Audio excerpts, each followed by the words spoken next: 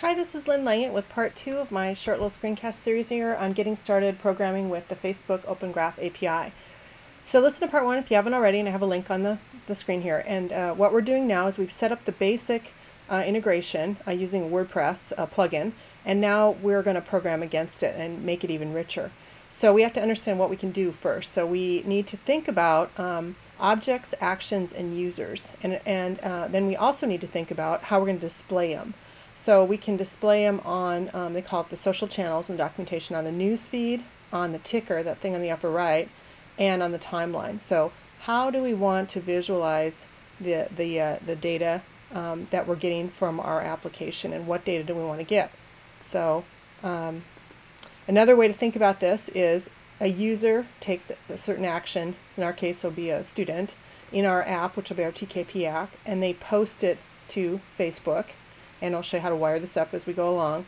And then um, uh, Facebook is going to get the object metadata. In our case, we want a picture of the, of the lesson that they've, they've coded up. All these slides have URLs so you can pull down the documentation too if you want to get started. So here is, you know, taking that, um, that uh, diagram and putting our use case. So we want to post a story to the timeline, post the name, post a picture of the, um, the screenshot, post the name of the recipe and should read something like Lynn, the kid, built the TKP square recipe using, and we have different languages, so we want to put Java. Um, as uh, you may understand when I say this, Facebook has to approve your action because they don't want spamish things. They don't want you know things that aren't aren't aren't productive posting on people's timelines. So you have to you know plan this out and you have to be thoughtful because um, you want to only post information that people are genuinely interested in getting. So uh, you know you got to talk to people who are going to be using this. So how do you do this once you once you plan it out? Well, let's go back to the developer section. So you go to Facebook developers here, and the first thing you have to do, um, it took me a little time to figure this out. You, even though this would indicate if you look at it that you just go and hack the graph, you actually have to know how to make a Facebook app first. Now I did figure that out looking at the WordPress plugin.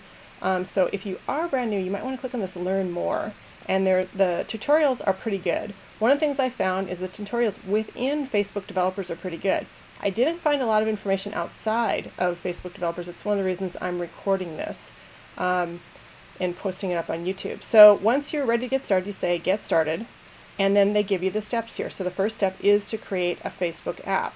Now again, it's not obvious sometimes how you do this. You have to read and go to the app dashboard and then you click and you say create app. Okay, now one of the things that you have to do is have a namespace because that's going to be passed back and forth. And there's no naming convention here. There is a certain fixed number of characters. I could only do teaching kids program.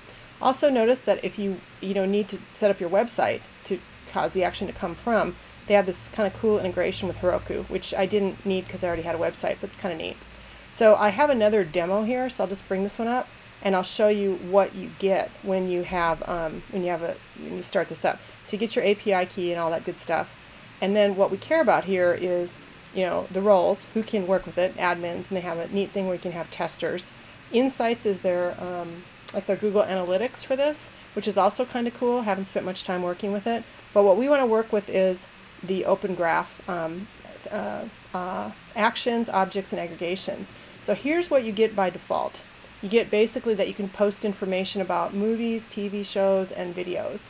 And that these are the objects of interest, the nouns, if you will, and this is the verb. So this is the action that occurs when somebody watches one of these things.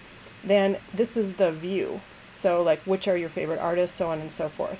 So you can use these, you can augment them, and I'll just go into movie and just give you an example. There are certain properties associated with them or you can create your own. So you can see here, these are the various properties, and this is what it will look like.